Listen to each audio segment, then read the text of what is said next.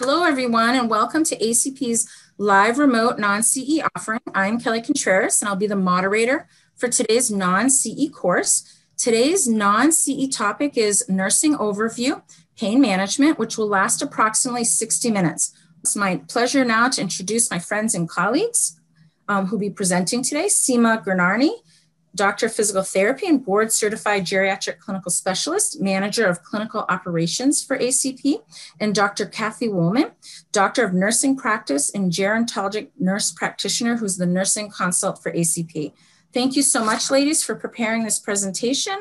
I'm going to now turn it over to you. Hi, everyone. We appreciate you taking the time to join, join us today. Dr. Woolman and I will be reviewing the pain management reference guide, which was developed to support clinical programming at your facilities. We do also have more detailed courses available for nursing CEs on our online university, including a couple that correspond to today's guide on pain management. You can use the information from the courses and from the reference guides for facility wide quality assurance or performance improvement plans, annual compliance training. You can keep the guides at the facility in a binder, maybe for your new, your new employees, or you can use them to support better alignment between departments. Using this pain management guide today, we're going to orient you to the document first and show you how the general framework is for all of these guides, how they all, uh, the template that they all follow, regardless of the program topic. You'll see different, you know, how the different sections are clearly delineated and allow you to focus on specific areas based on your facility's needs, like a pathophysiology section, nursing considerations, therapy considerations, and even an interdisciplinary collaboration section. They are designed so that you can break up the information and go through specific sections if you need to, you know, um, if you need to review, you know, specific sections at a time where you can go through the whole entire document, really just based on your education needs or time allotment. Once you're familiar with this basic structure, you should be able to easily navigate any of our guides. The templates all start off the same. So if we look at our screen, you know, with the first page or two covering prevalence of the problem and impact to the resident or facility, we get into person-centered care as well as ideas for resident identification for the program. In this particular guide on the second page, we cover the challenges to treating chronic pain in the older adult, as well as some points on the opioid epidemic. You'll get information on anatomy and pathophysiology in some of these guides. For this one, we delve a bit into pain definition and characteristics. The next section is the nursing considerations, which always starts at the top of the page. We typically start all of our sections at the top of a page so that you can find them easily within the guides, pull out whichever sections you want to focus on in one education session. And again, we can provide a review for your staff for any of the sections in any of our available guides. For all of our clinical programs, you'll see a section for both nursing and therapy champions where we highlight what those roles could look like.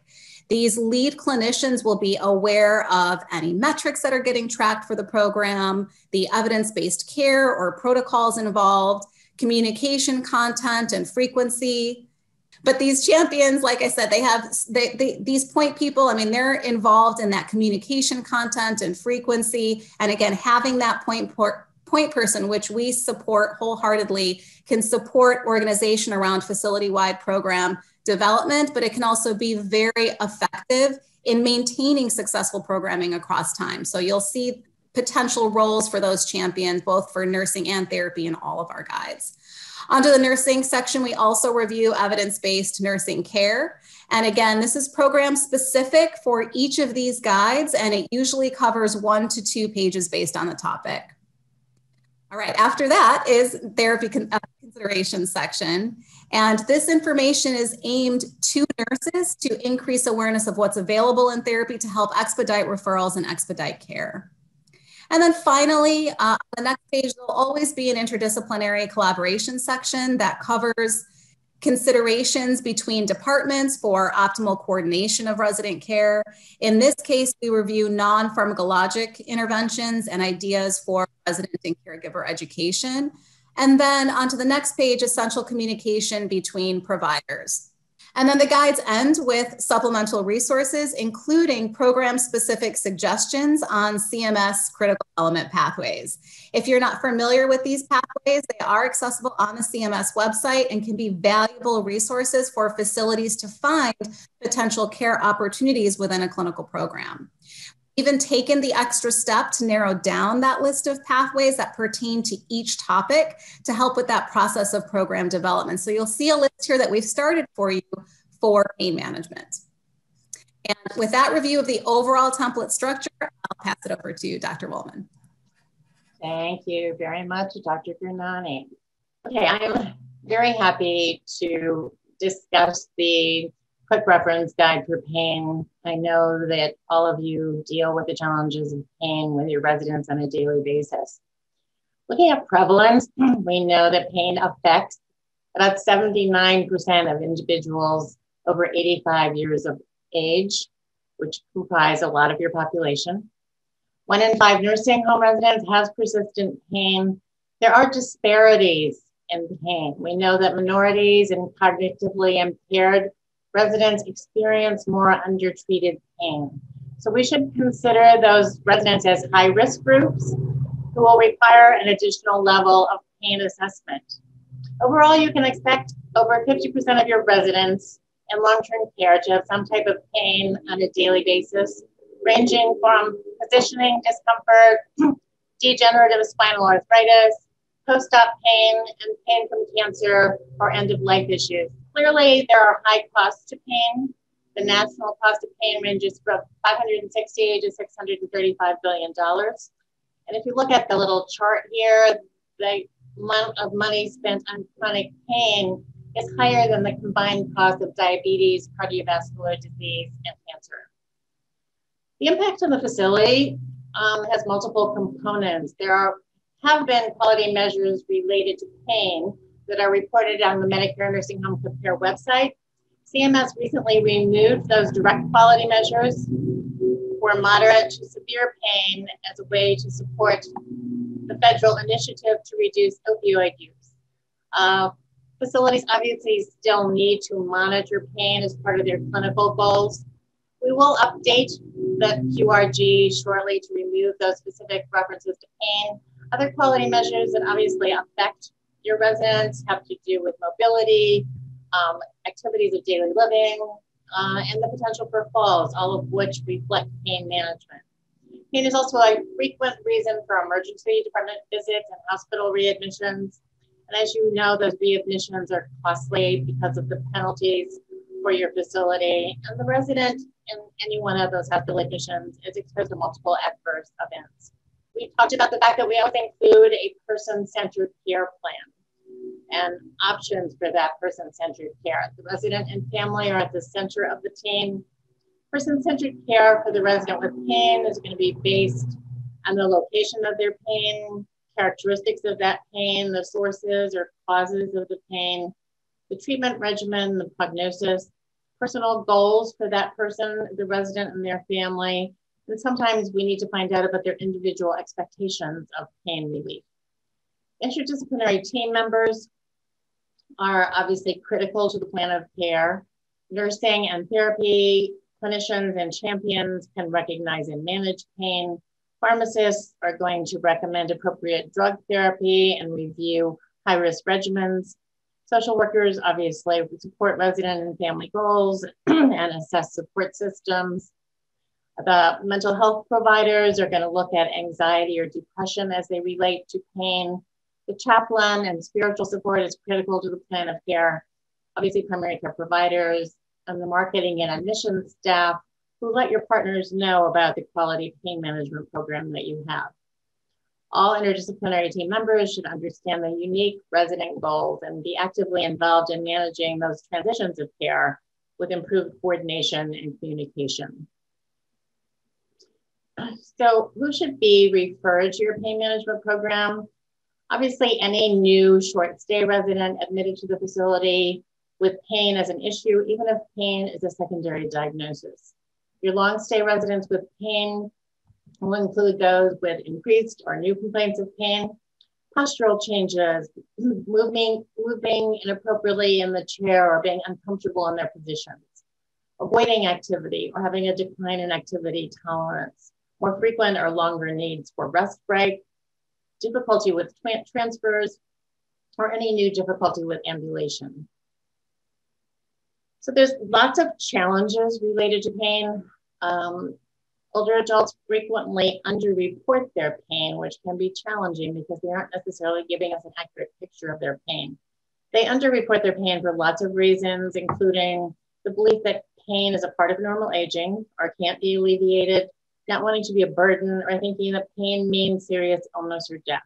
They also may lack just adequate knowledge about what pain management strategies are available to them. So we need to obviously make sure we're educating them on a consistent basis. Clinicians who are providing care for older adults with pain may frequently not completely or comprehensively assess all of their systems because they have so many comorbidities and illnesses and problems that might reflect pain. It does take a long term to do that comprehensive assessment, but the entire interdisciplinary team is involved in sharing those issues. Residents and clinicians may have misperceptions about opioid medications. And obviously, polypharmacy can be an issue with older adults. We know that so many of your residents have more than 10 or 12 or even 15 medications on a daily basis. So adding a medication or an analgesic for pain management, even such as an opioid or any of the other analgesics, can interfere with other drugs and cause additional side effects.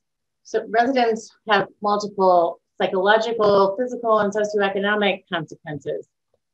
Some of those physical consequences include potential for falls, obviously. They have more sleep disturbances, perhaps anorexia and malnutrition. Uh, some of the emotional and psychological issues have to do with depression, anxiety, fear, frustration, anger, because they have to deal with these challenges of pain on a daily basis. Uh, they can have social isolation and diminished personal relationships. Finally, but importantly, if we do not manage their acute pain, that person can actually develop persistent or chronic pain over time because the pain pathways can actually change.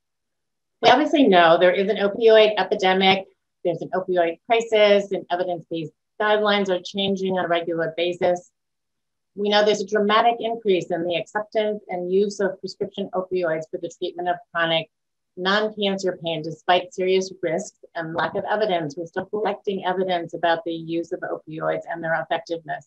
Just to give you a couple of examples, in 2016, almost 20% of older adults filled a prescription for opioids in the United States. And between 2010 and 2015, uh, there was a emergency department visits and hospitalizations related to opioid use actually doubled. So those are pretty powerful issues that we're dealing with. Inappropriate opioid use in residents can cause cognitive impairment, falls, and even cardiovascular events or death. But at the same time, we already talked about the outcomes related to poorly managed pain. So we're constantly walking that tightrope and being very considerate about how we're using pharmacologic and non pharmacologic interventions. In March of 2016, the CDC published some recommendations for prescribing opioids they suggested that we set realistic goals for pain and function based on their diagnosis and make sure that non opioid therapies, including non-steroidals and physical therapies, such as exercise, biophysical agents, ADL, and functional mobility tra- training, are tried and optimized. Dr. Gurnani will focus on definitely multiple physical therapies that are appropriate for pain management. So, what's the common definition of pain? Is an unpleasant sensory and emotional experience associated with actual or potential tissue damage. The other pain definition that we need to consistently be aware of is down here at the bottom of this page. Pain is whatever the experiencing person says it is, existing whenever and wherever the person says it does. That definition came from Margo McCaffery, who is a nurse, um, and that, that definition is about 50 years old but we really still need to think about it as a priority because our pain management programs can be influenced by our personal biases. Pain is also described based on the duration and the mechanism of the pain. Duration of the pain is obviously acute or chronic. Acute pain is of sudden onset, expected to last a short period of time. We usually define chronic or persistent pain as pain that is lasting three or more months. The mechanism of pain is described as being nociceptive or neuropathic. Nociceptive is further described as either visceral pain or somatic pain. So, visceral pain is pain in the body's internal organs um, that can then activate pain receptors. So tissue injury activates those pain receptors. It can be poorly localized. It's usually constant pain. It can be described as deep and aching. It's often referred to other sites.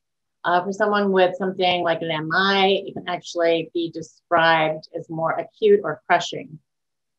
The somatic pain is pain of the skin, muscles, joints, connective tissue, and bones. It's again relatively well localized, typically worse, obviously, with movement. Superficial somatic pain can be sharp, pricking, throbbing, or deep somatic pain can be dull, aching, and cramping, such as the pain you get from arthritis.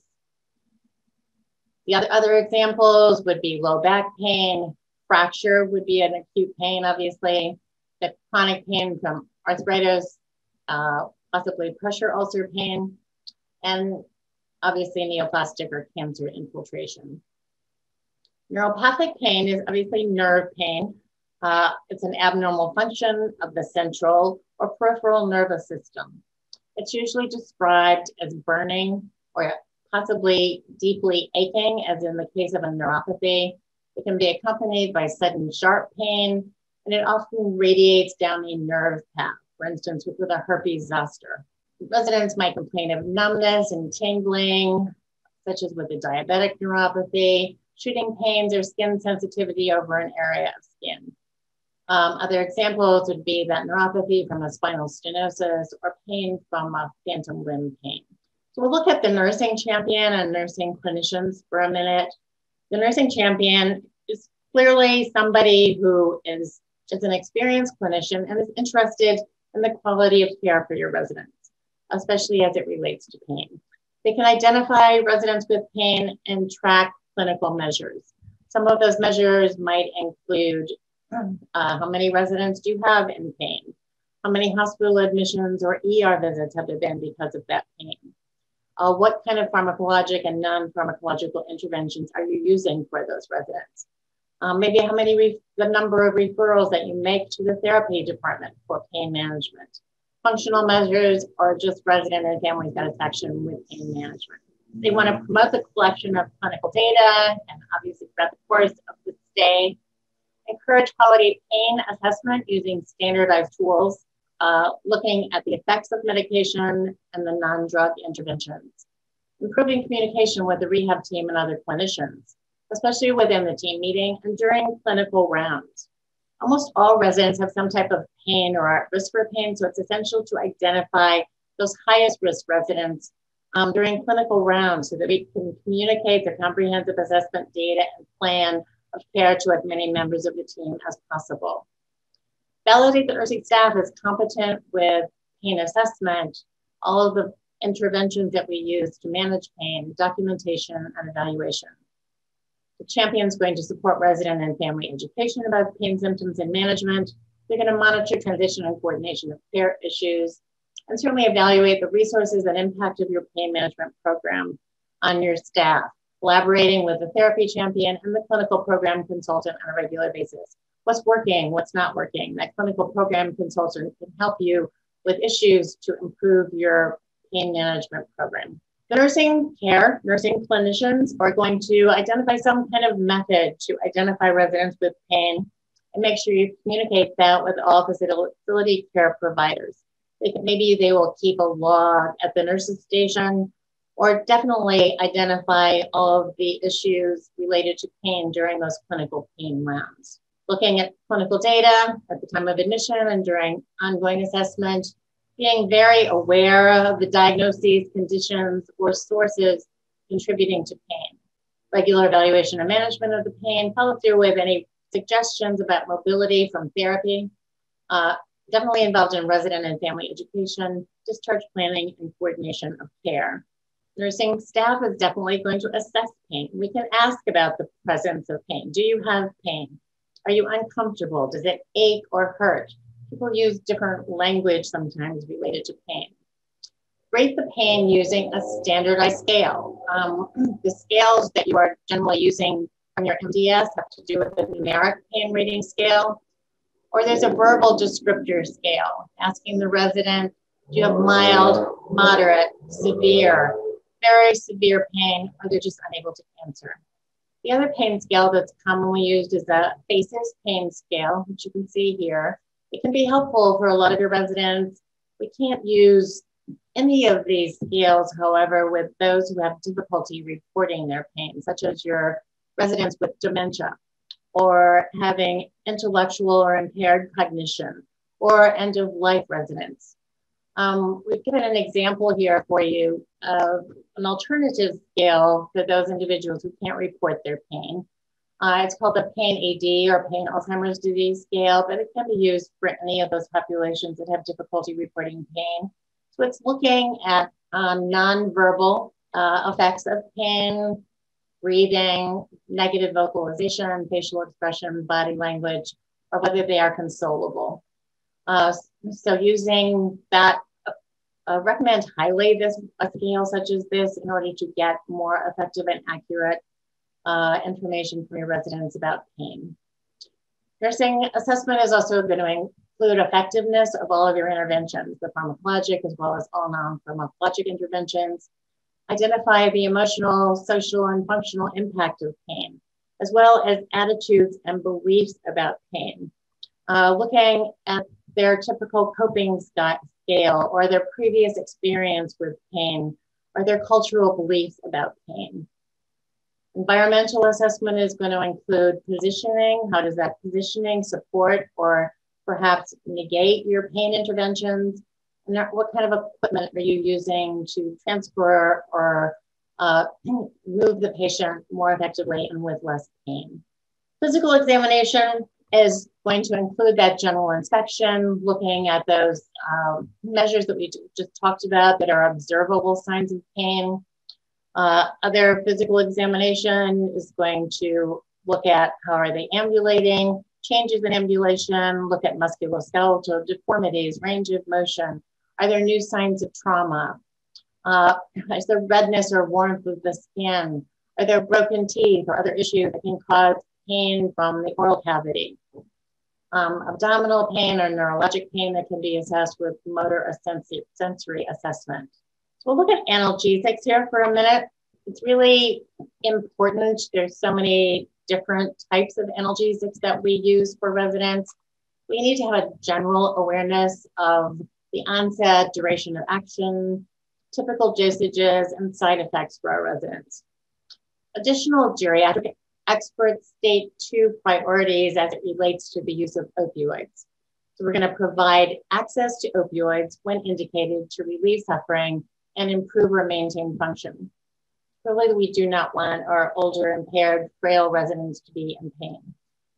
Their second priority then is to promote the tapering of those drugs, discontinuation, and avoidance of the drugs when that goal to relieve suffering, improve or maintain function is no longer achievable. Some of the non-opioid analgesics that we do have available to us, acetaminophen or Tylenol, is almost always the first line therapy for mild to moderate pain because it doesn't have the same side effects as those non-steroidal anti-inflammatory drugs or NSAIDs may have. Tylenol does not affect renal function, and it doesn't affect the GI system or cause GI bleeding. The only caveat with using Tylenol would be for your residents with liver disease because it is metabolized in the liver. Acetaminophen is helpful. It can be used around the clock for your residents, perhaps with dementia, with increased behaviors. Um, personally, I think that pain has a, a huge significance in behaviors for your residents with dementing illnesses. The nonsteroidal anti-inflammatories uh, again, would be aspirin that we obviously don't use very often for pain. Um, it could be the ibuprofen, Advil there's also ibuprofen, Motrin, uh, naproxen, or Aleve. They are effective as anti-inflammatory agents. but again, used with caution secondary to the renal, cardiac, and GI side effects. Certainly use the lowest dose for the shortest period of time. Adjuvants are drugs used for indications other than pain. They can be useful for analgesia. For example, a tricyclic antidepressant such as amitriptyline or an anticonvulsant such as gabapentin can be very helpful for those, uh, the neurologic or neuropathic type of pain that we see. Other topical local anesthetics can be very helpful. They have less systemic side effects, such as lidocaine or topical non-steroidal anti-inflammatory drug that do come in topical preparations. Capsaicin is uh, comes from chili powder, but it actually interferes with that pain uh, effect within the tissues. The opioid analgesics that we see used most commonly are the mild to moderate agonists, such as codeine, hydrocodone, oxycodone, or tramadol, which is a synthetic uh, opioid medication or a partial agonist. Hydrocodone and oxycodone are typically used in combination with Tylenol. So you'll see combination drugs such as Lortab or Vicodin or Percocet. Other more the stronger opioids that we use are morphine, hydromorphone, fentanyl, or methadone and obviously prescribed by providers who are very um, experienced in managing opioid analgesics. So back to Dr. Gurnani. Okay, so um, this page starts off with the role of the therapy champion. It's very similar to what Dr. Woolman mentioned for the nurse champion in that this primary clinician within the therapy department is leading the program. They're helping with resident identification and tracking, making sure staff is aware and following evidence based protocols, helping with care coordination, and really working closely with the nurse champion and the ACP consultant to assess the program and adjust the approach as needed. If we look at evidence based treatment on this page, kind of towards the middle, the CDC released guidelines that recommend non drug approaches such as therapy over long term use or high dosage use of prescription painkillers. So, therapy can be strategically incorporated as a safe and effective alternative or adjunct to opioid therapy for long term pain management. I can't emphasize enough, though, that therapy can and should be involved for those residents with both acute or chronic pain.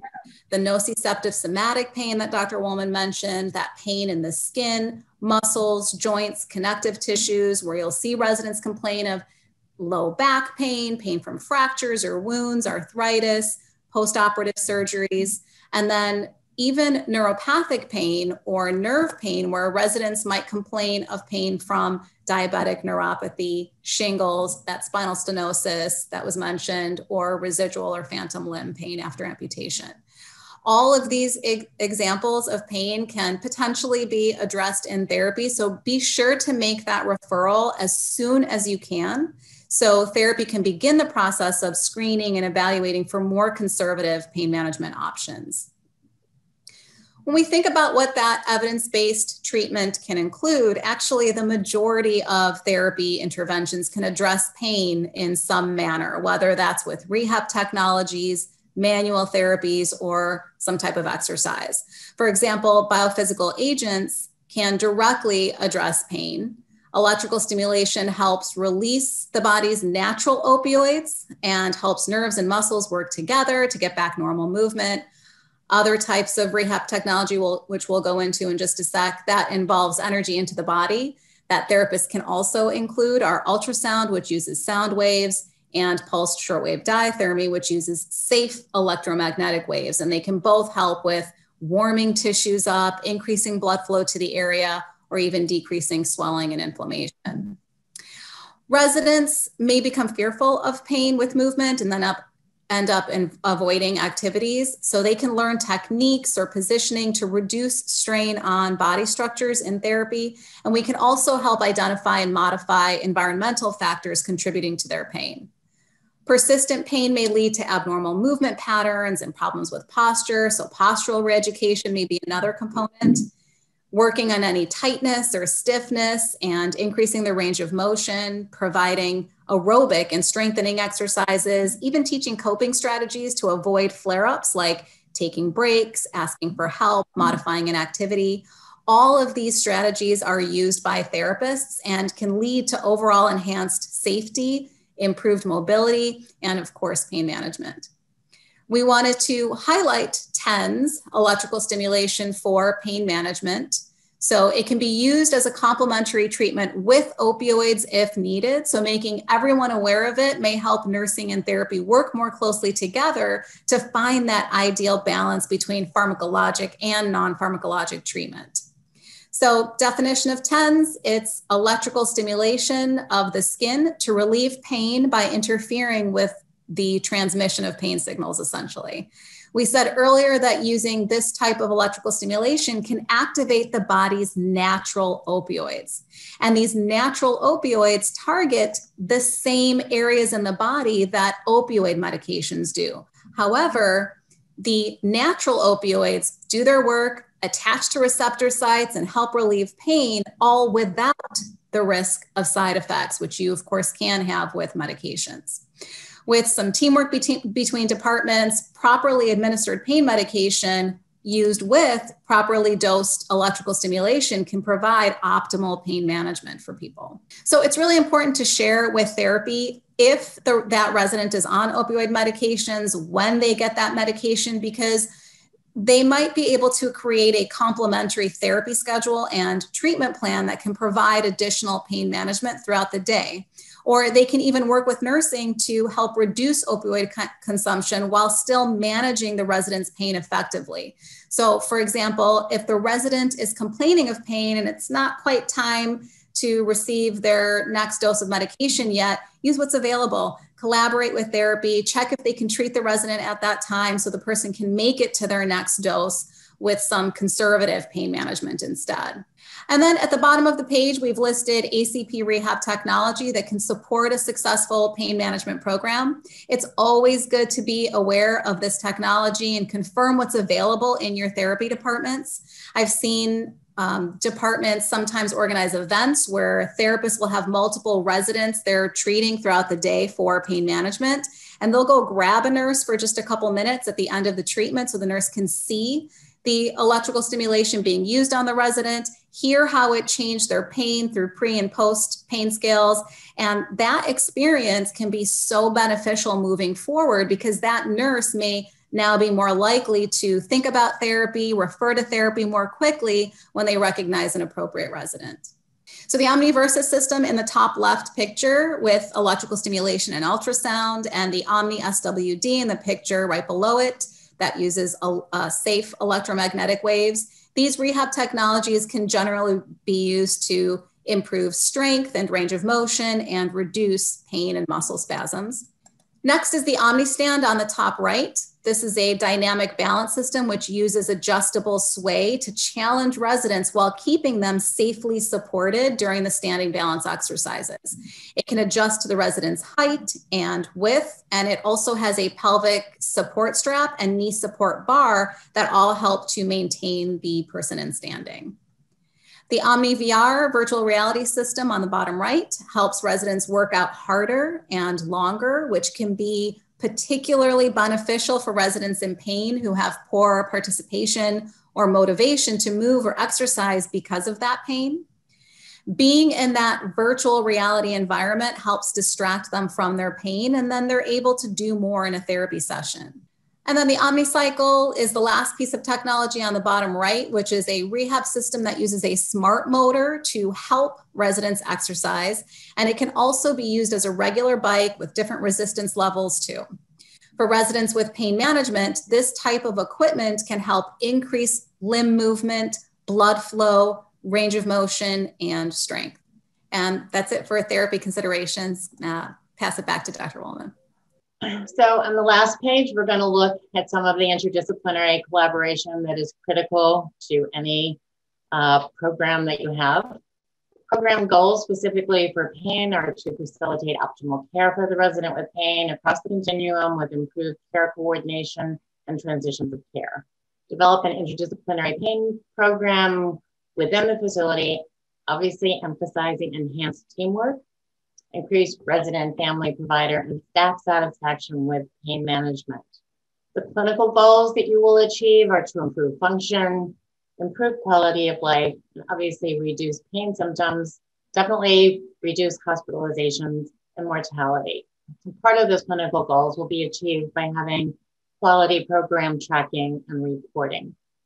So we we talked a bit already about pharmacologic uh, interventions, just as critical, if not more critical, to clearly think about the non-pharmacologic interventions. Dr. Gurnani just discussed some really high quality evidence-based interventions, other interventions that can be used by additional members of the team um, who might be therapy, obviously therapy, art and music therapy, massage therapy, mental health providers, the chaplain. Psychological interventions would be distraction, relaxation, and mindfulness based meditation, guided imagery, again, music or art therapy, controlled breathing, cognitive behavioral therapy. Other non pharmacologic interventions that are incredibly effective are repositioning, avoiding postures and positions that provoke pain, energy conservation, getting restful sleep, the spiritual practices. For again, some residents, those will be more helpful than anything else that you might choose to implement. Massage therapy, um, and the skilled therapy services that we have talked about. Resident and family education is critical to any program that you implement for pain management. Obviously, that education should begin at the time of admission and continue through the time of discharge. What does the resident and family need to know about pain? A little bit about the pathophysiology. What causes the pain? How tissue and pain receptors relate to pain, just in a very simple way. And the impact of that pain on their function and their mental health why you're trying so hard to develop a pain management program that's effective for them.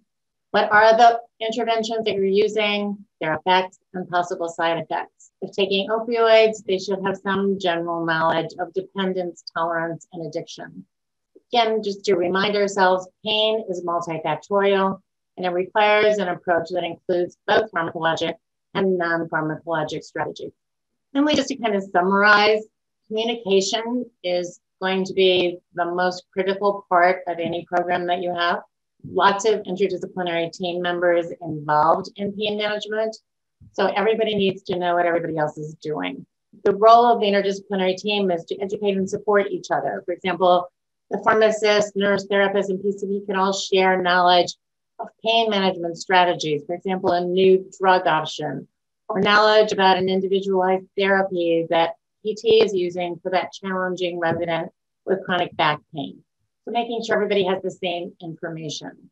Some of those elements of communication include documenting the assessment and reassessment of pain in a defined space so everybody has access to that information. Document the frequency of pain assessment, which might be different for each of your residents. Looking at the effects and side effects of all the treatment. Using those targeted pain assessment tools, especially for residents with cognitive impairment or behaviors or those who cannot report on their pain. Share the pain assessment tool or rating scale with therapy and other departments. They might not be aware of how PAINAD is so critically effective for those residents who can't report their own pain. Discuss strategies used by each discipline in pain management in those daily or weekly pain huddles share the unique goals of care for that individual. What are their preferences for advanced care planning, advanced directives, and make, make sure you refer those individuals who are appropriate for hospice and palliative care at the right time. Use communication tools such as SBAR, which means uh, situation, background, assessment, and recommendations, or stop and watch, which is an early warning tool to let people know about acute changes. Those tools are both actually recommendations from the Interact Quality of Care program. So if you don't have access to that, it might be something you want to look into. Those communication tools identify risk factors or clinical conditions that need to be actively managed with a focus on acute changes and preventing poor outcomes. Resident and family education and response to that information is part of our communication with other members of the team. The resident and family satisfaction with the pain management program Obviously, the coordinated discharge plan is part of the interdisciplinary team's role. ongoing education with all members of the team about the pain management program, the definition and characteristics of pain, what's involved in that comprehensive assessment, all of the pharmacologic and non-pharmacologic interventions, and resources available from each department. Dr. Gurnani mentioned some of the supplemental resources that are available for you here. Please take advantage of them. And thank you so much for attending the webinar. Pain management will continue to be challenging for all of us, but with a really good pain management program and your pain management team, you can definitely make a difference. Again, thanks for being here. Thank you so much for a fantastic presentation and have a lovely rest of the day. Thank you for those that were able to join us today. Very much appreciate it.